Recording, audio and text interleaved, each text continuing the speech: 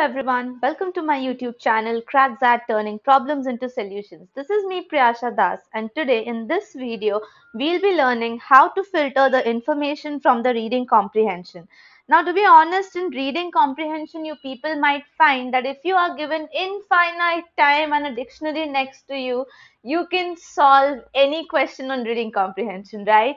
But the enemy is the time crunch. We have to solve the RCs in which we are mostly not interested to read, like some philosophical passage or something related to literature or history, which is really not a genre which we people generally read. And some of us generally don't read only.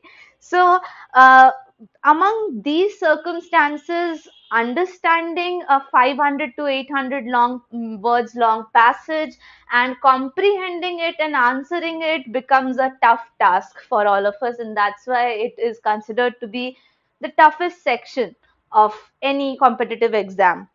But in today's video this video is gonna be long guys. So a disclaimer because in this video my primary focus would be to tell you how to approach these reading comprehension questions. You would be getting this comprehension which is right now on the screen uh, in the description box as well as in the uh, first comment of this video. So you may go there and check out the entire passage and then you can come back and see how to solve it. And after that in this video we would be focusing on the various methodologies and how to use the golden rules of the RCs which we have learned in the previous videos. Now along with those six golden rules I'll be also telling you some more important rules for which I would need an example to carry on and so I'll use this passage and of course one really important thing this passage is a CAT 2005 previous year paper question and this is a 821 words long passage and our job in this video will be to extract somewhere around 80 to 100 important words which would help us to get the answers of the upcoming four questions in this passage. So contracting a passage from 800 words into 100 words is a task which will be made super easy using all the golden rules of our reading comprehension. So let's get started. Before we actually get started with the reading of the passage, let's have a quick look on what kind of questions are we expecting from this passage. So the first question is according to the passage, Derrida believes that. So Derrida is a person about whom we will be talking in the passage and we are going to figure out what are the beliefs of Derrida. So whenever Derrida and any statement related to Derrida comes, we'll just focus on that when we'll read the passage. Second, Derrida rejects the idea of definitive authority of the subject because of any one of the reasons given in the four options.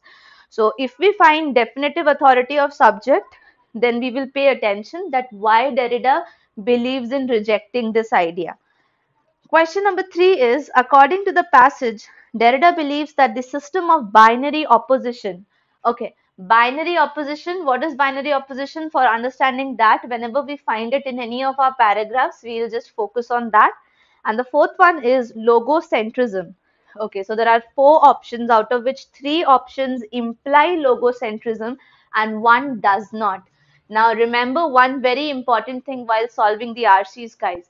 They are they have made all the options very very nicely giving you keywords which are present all over the RCs which may not be related to the real answer but will definitely be present in the RC thereby making it a trap answer and the people who think that reading the questions and then hunting for the keywords in the passage will help them to get the answers, I can tell you out of my experience that 90% of them will fall into the trap answers. The answers which will have a lot of keywords in it matching with my passage and the word next to it which is in the question.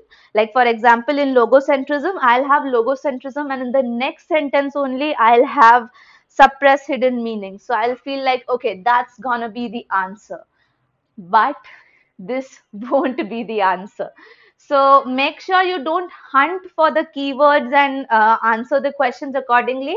I just read the questions to make sure that I will be putting more focus on a certain area than on the others. And as I mentioned in the uh, beginning of the passage, that I would be rather focusing on the method of skimming, that is filtering the data, rather than hunting for the keywords. So now I have certain words in my mind and I know that I have to get my answers from there.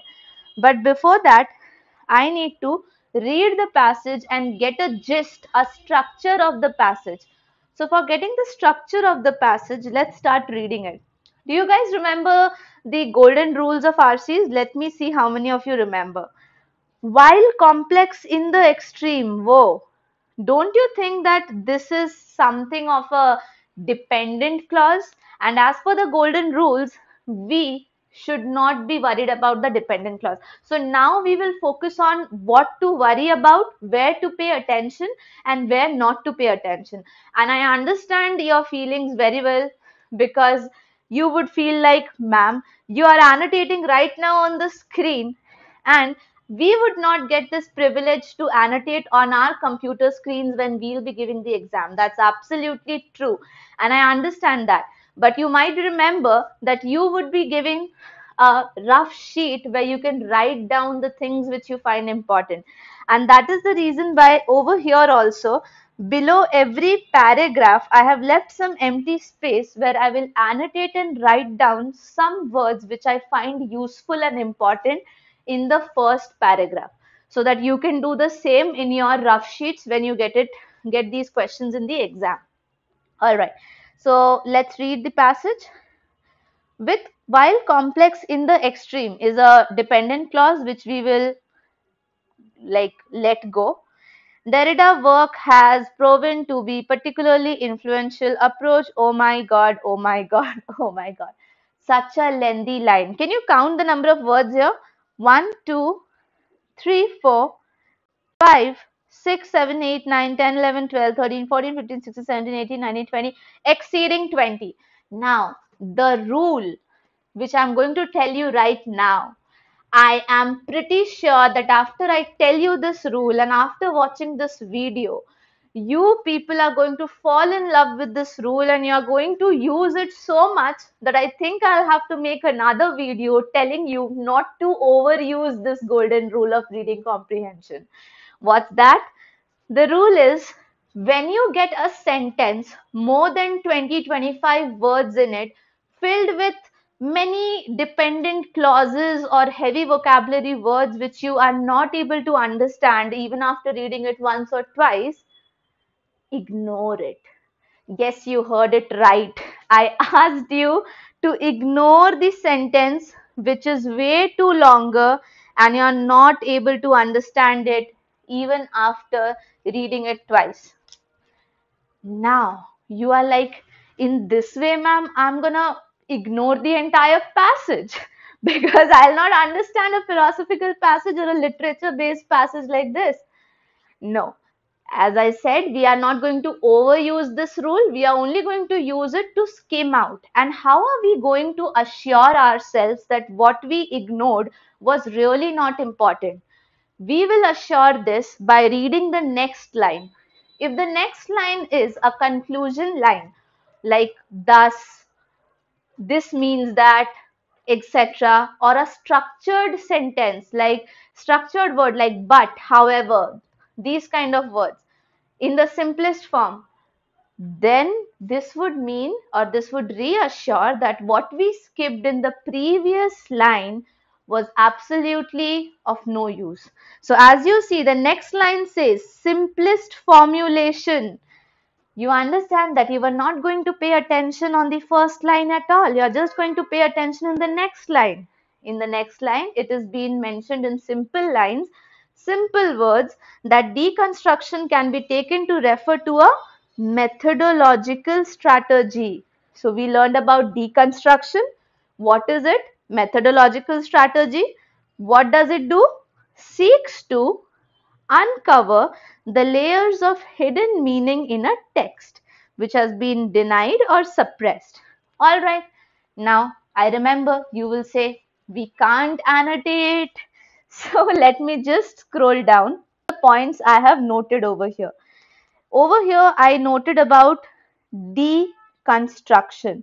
So please remember that here you are not going to, you know, make any beautiful handwriting or make it legible enough for others to read. This is for you to understand. So whatever short you want to write, you only want to write D, it's okay until unless you understand that you meant deconstruct. Then we would write methodological strategy. So I believe myself, I'll remember MS as methodological strategy. Uncovering the hidden layers. So yes, I can write hidden over here so that I can remember that and we also learned something about text. Now let us see what next can we check out over here. The next line says the term text in this respect does not refer. Okay, one additional rule to focus here, not. When I am considering not in itself, the author is only saying me do not pay attention over here. So we will not pay attention in this line. Where will we pay attention? In the structured word. Where is the structured word? In however, rather. Rather and however are the two structured words which will now give us an indication that whatever comes next is important. So what is important? What are texts? Texts are something we produce, reproduce constantly in our everyday social relation be spoken written embedded material artifacts it's okay. It's something which we need to understand that there is something called as a definition of text and i have already mentioned it down so i will not rewrite it. Coming next to at the heart of derrida's deconstructive approach is his critique of what he perceives to be the totalitarian impulse of the enlightenment pursuit. Why am I underlining it? I am underlining it because I don't understand the meaning and also because I find them to be proper nouns which will somewhere or the other be important to me. Now, when you get some proper nouns, make sure you just take a note of it so that whenever in case they are asked in the options or in the questions, you can just go back and check whether it matches with your answer. To bring all that exists in the world under the domain of representative language. A pursuit he refers as logocentrism. Now, please pause. Logocentrism in itself is a question, which was question number four, I remember. So, I think these proper nouns which I have, uh, you know, kept or underlined over here will definitely be useful when I'll go down and check the question of logocentrism. Right now, I can just take few notes for logocentrism after I complete this passage, paragraph I mean. Logocentrism is the search of rational language. That. Now that is an important word if you remember my last video on golden rules. Whatever comes after that is important. So what is it representing? Logocentrism. And logocentrism is able to know or represent the world and its aspects perfectly and accurately, all right? Its totalitarian dimension for Derrida, at least, oh my god, count the number of commas, guys. One, two, then we have another one, three, four, five, and then a full stop finally. So definitely more than 20 words long, filled with so many commas means filled with so many dependent clauses with a smile, tell me what should we do here? we should definitely ignore this entire line because it seems to go right up from our head and is also following no information. Like we are not going to process this information, but how will you assure yourself that skipping this was the right decision? You will assure it by the next line which says thus. Thus is a conclusion line and so you can say that thus the oppressed that which thus logocentrism has in its search for the truth of absolute representation. Now see this is the simplified form of what was written at the top logocentrism absolute representation subassumed difference, oppressed, which designates as its alien others. For Derrida, Western civilization has been built upon such a systematic assault on the alien cultures and typically in the name of reason and progress. Okay, so what are the points I'm going to take away from the first paragraph? Let's have a quick look. I can take away something related to this term which is called as logocentrism. So I'll just write down logos over here so that I understand that I'm talking about logocentrism. And what about logocentrism? I know representing the world and the various units, if you remember. The units which I got was over here totalitarian impulse. I will write it as TI. Okay, I'll be writing it as TI then I would also mention this as domain representative language, enlightenment pursuit. So EP, then I would write it as representing the world. So I'll just write world like this and domain of representative language. I'll just write RL. So this will help me to get an idea what to grasp or catch back from the first paragraph. Now you see I have summed up the entire paragraph in around 10 to 15 words and that would be more than enough for me to understand the gist of the first paragraph. Now let's move down the second paragraph. The second paragraph says in response to logocentrism, deconstruction posits the idea that the mechanism by which this process. Now, wait a minute. Before you actually get into this, let me change the color of my pencil and show you that we have to get started from that. The mechanism by which this process of marginalization and ordering of truth occurs is through establishing systems of binary opposition now, this word is important binary opposition because I remember there's a question on binary opposition directly. So, binary opposition, I'll just note down the points.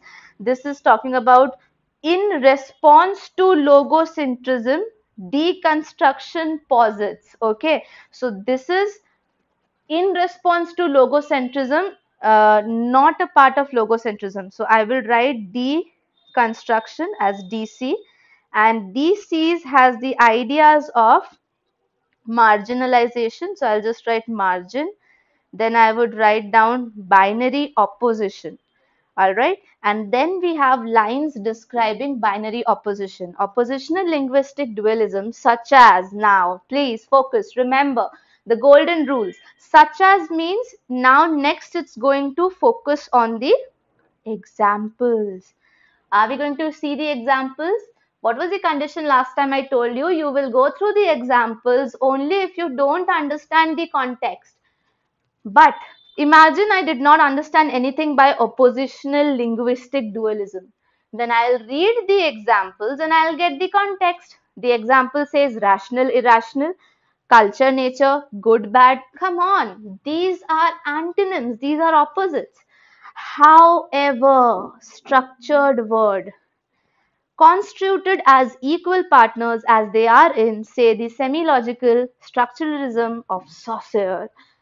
Rather, rather they exist for Derrida in a series of hierarchical relationships with the first term normally occupying a superior position. So, wait a minute, what did we understand here from binary opposition? That binary opposition is basically having opposites in a particular area where we are talking about. If there is good there is bad also.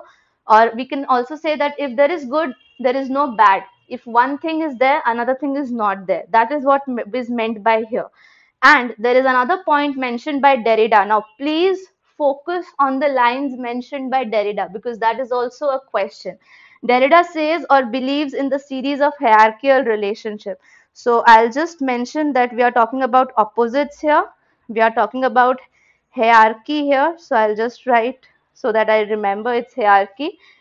And in the hierarchy also I need to remember that 1 is greater than 2. That means first is superior.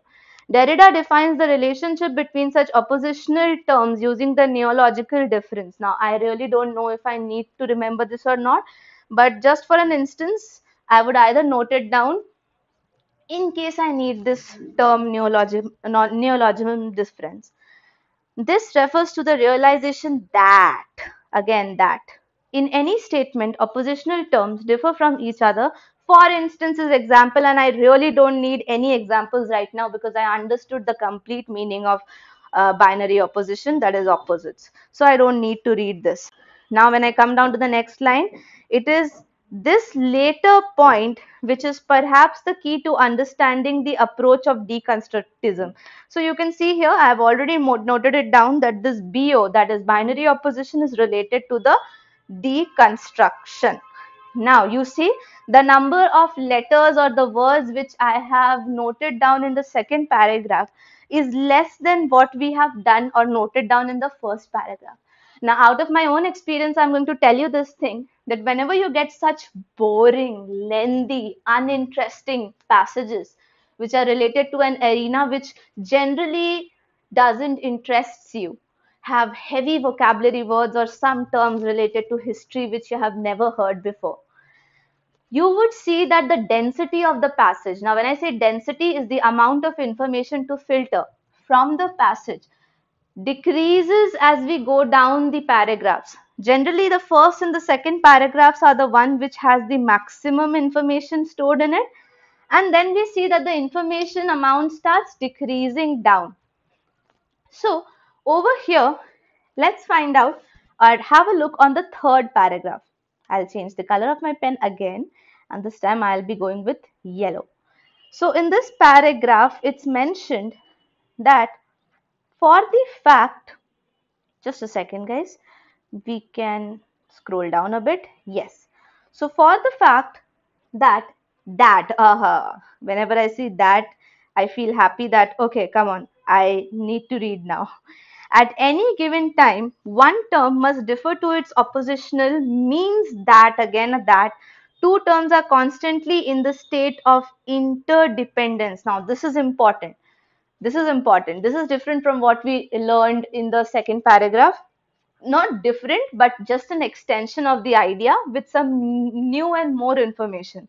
Like in the last paragraph, we did not learn anything about interdependence, but here we are talking about interdependence. So I'll just write it like this. The presence of one dependent upon the absence of other. So there's an absent present relationship such as now, in case you understood that they are trying to say that one thing is present, so the other thing is absent, you need not focus on the examples like good and evil and things like that. So I can just simply ignore this straight, straight away. That is to do good, we must understand that we are not having evil. This is again the continuation of the example only. And again, the next word, put simply, will bring a smile on our face because it will reassure us that whatever we skipped above was literally of no use because it's now again going to be reinstated in these words.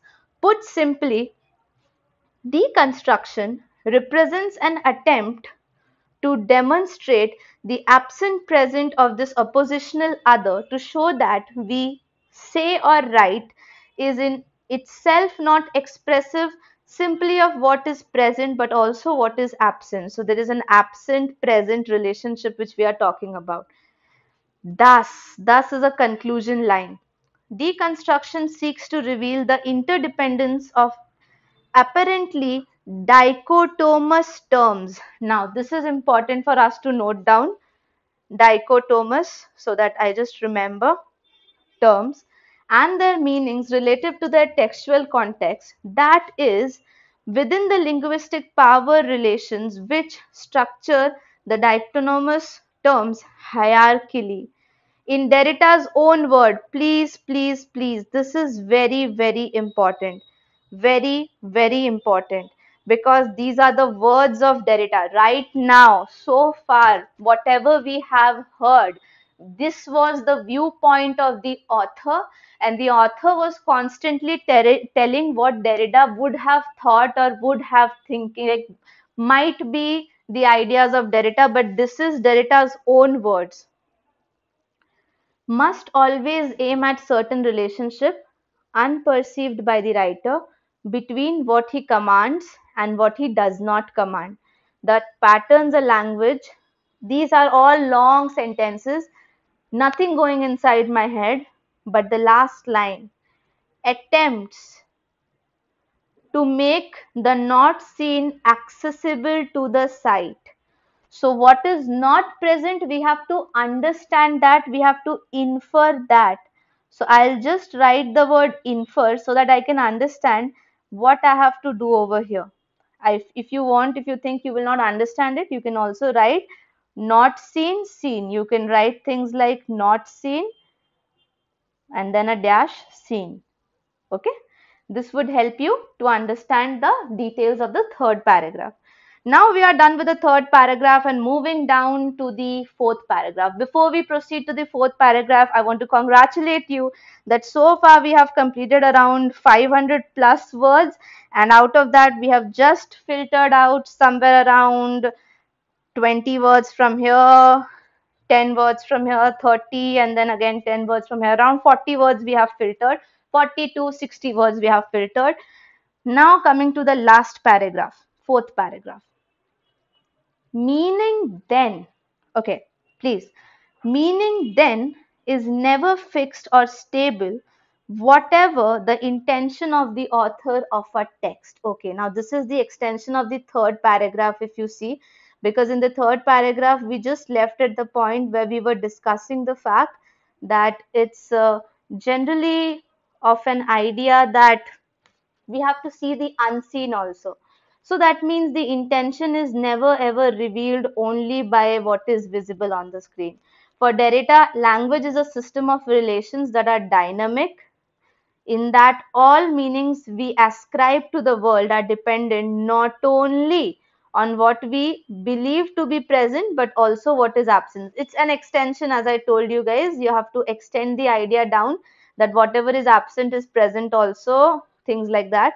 Thus thus is the conclusion term over here. Any act of interpretation must refer not only to what the author of a text intends, but also to what is absent from his or her intention. This insight leads once again to Derrida's further rejection of the idea of definite authority of the intentional agent or subject. Do you remember the question? Why do you think Derrida is rejecting the definitive authority?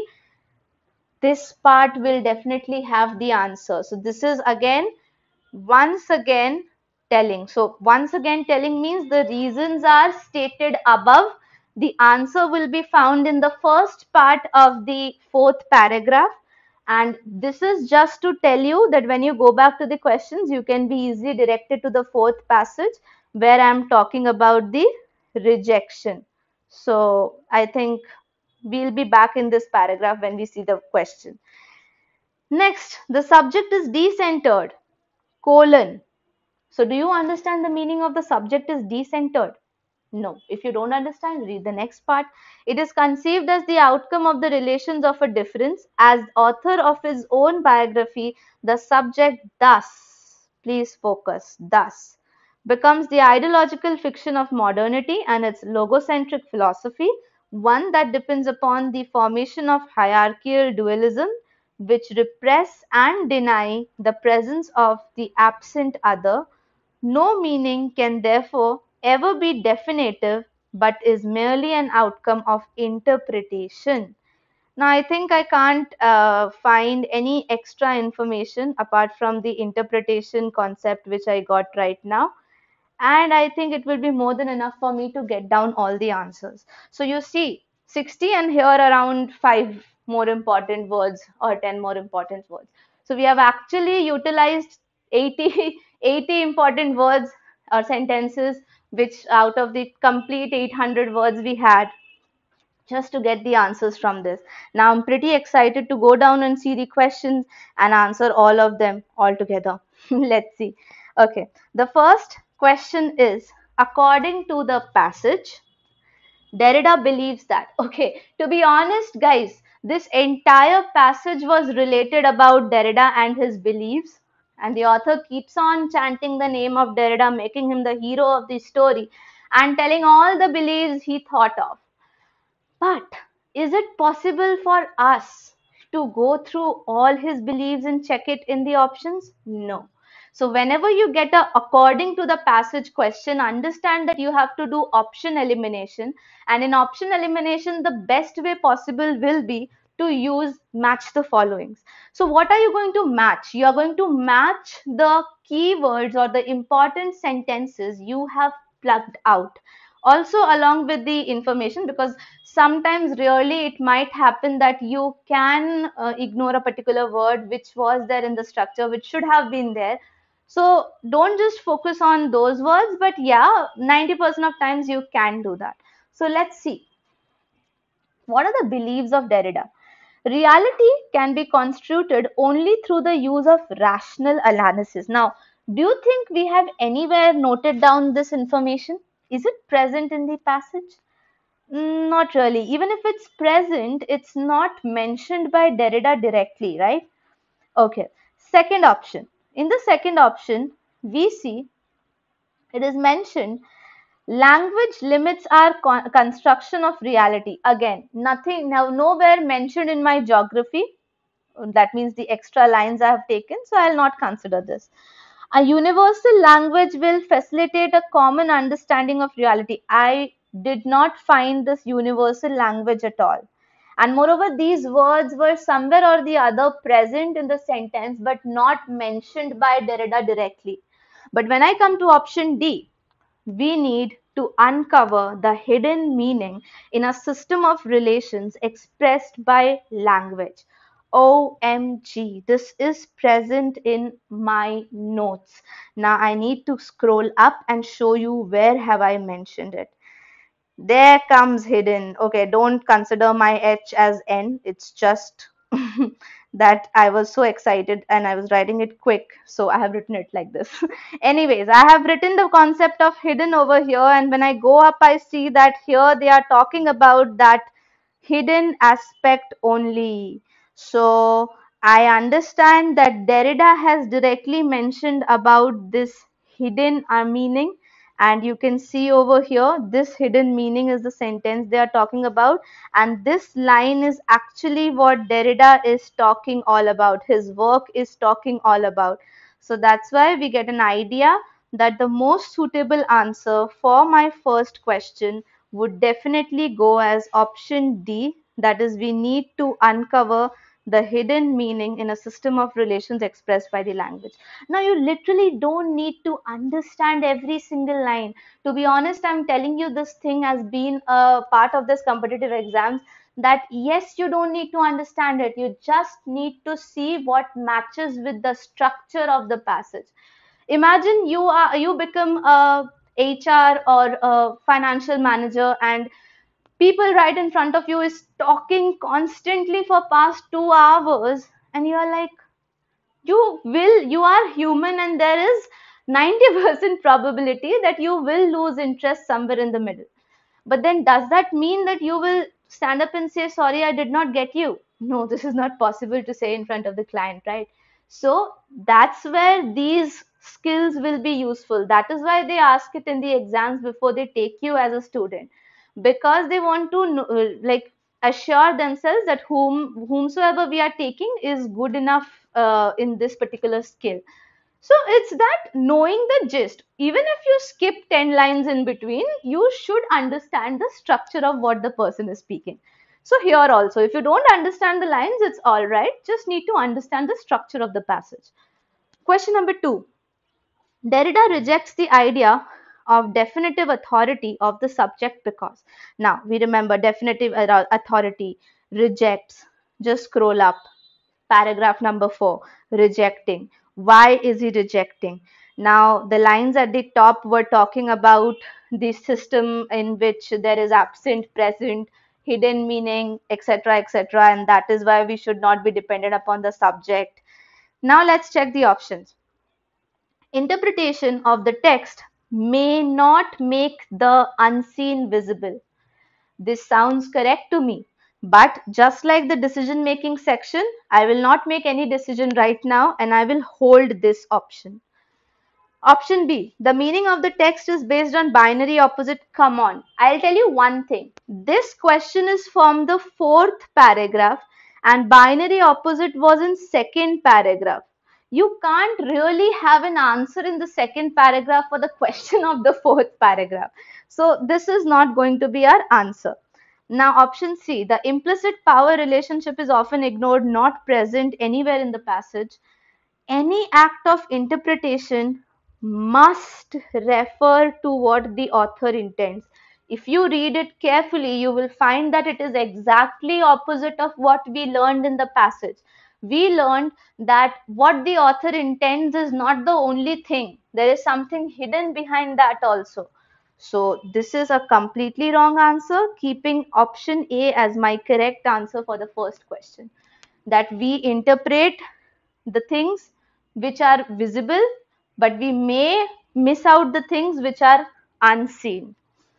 Okay, nice. Now we go down to question number three. Now in question number three, according to the passage, Derrida believes that the system of binary opposition, now binary opposition, second paragraph, what is binary opposition? Now even before I take you through what is binary opposition, let us try to eliminate the options as far as we can without even referring to the passage. Let's see. Represents a prioritization or hierarchy. Sounds good to me, but I'll just keep it on hold. Next, reconciles the contradictions and the dualities. Why will it reconcile it? Like, there's no sense of talking about dualities and contradictions when it comes to binary opposition, and no point of reconciling either because binary opposition in itself means the existence of two opposite things so that means I can really cancel off option B even without reading or going through the passage again. Option C weakens the process of marginalization and ordering of truth. Now this marginalization and ordering of truth was somewhere present in the passage.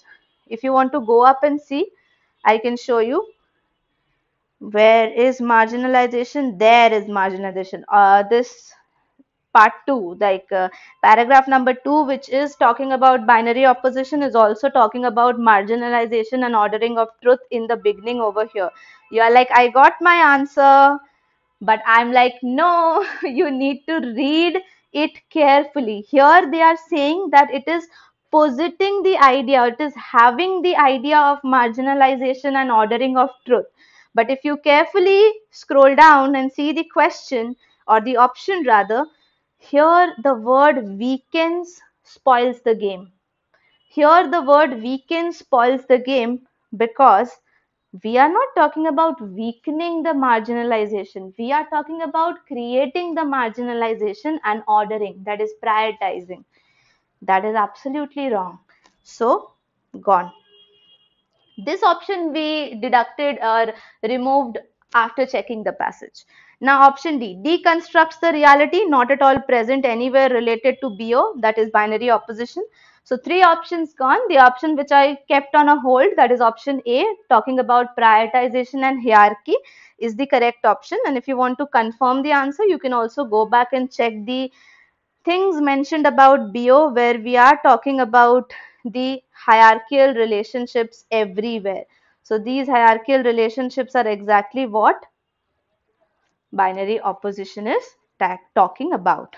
All right, we are towards the last question and then we'll be towards the end of this video. Question number four, to Derrida, logocentrism does not imply. Now this can be a tricky question because three options imply and one option doesn't imply. And these kind of questions is where people fall in a trap answer. As I told, people will look at logocentrism, they will directly jump to the passage without reading and understanding. They will see, seek out for the uh, terms, the key terms over there, and they will find every term.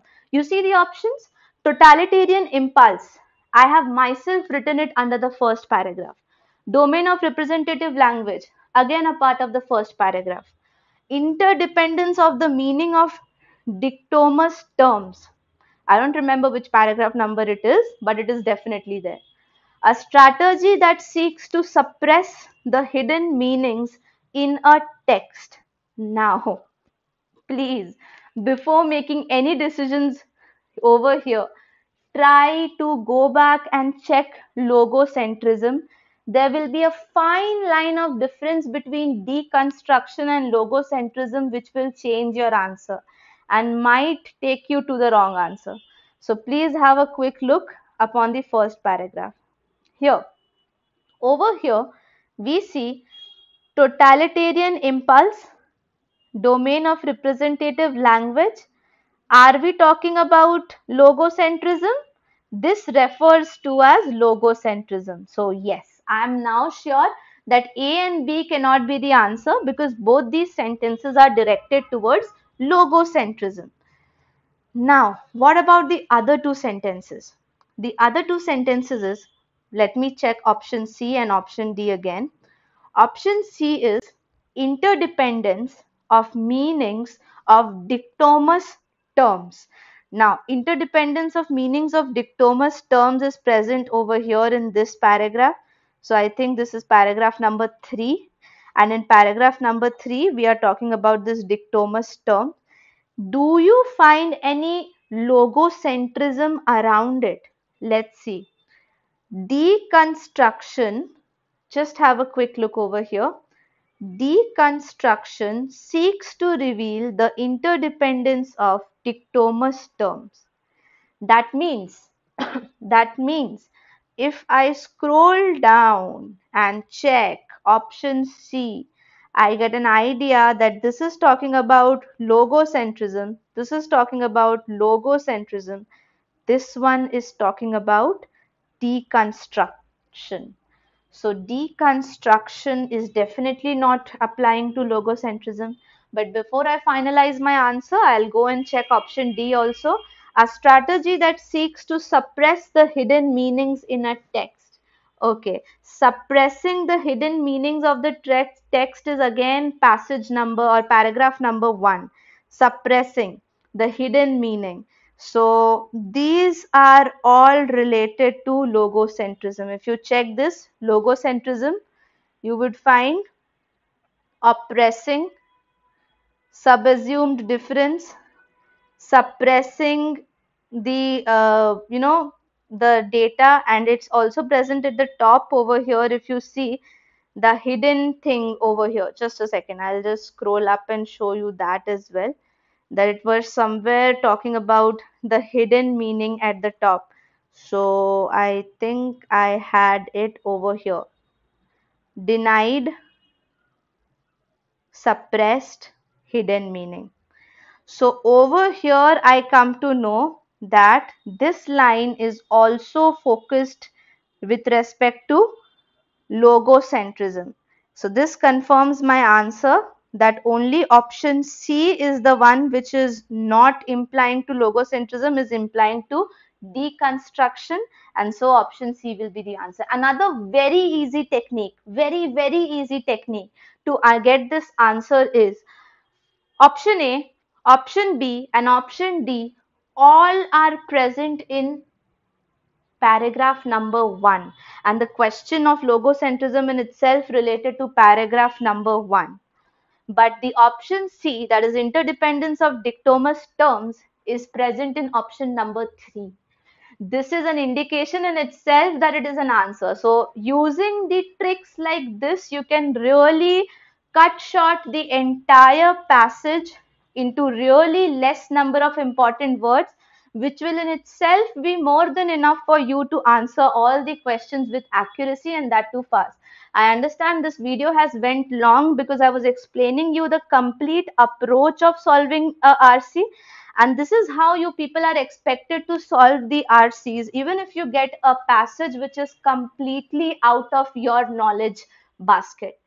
So I hope this video will really be useful. Please watch it properly without skipping so that you understand each and every term and understand how to actually imply the golden rules of reading comprehension because these golden rules uh, like look like very interesting when i tell you but until and unless you utilize it in a question you would never be able to uh, you know get the maximum benefit out of it so if you like this video please like this video share it with your friends and don't forget to subscribe to the channel Until we meet again, please take care and thanks for watching.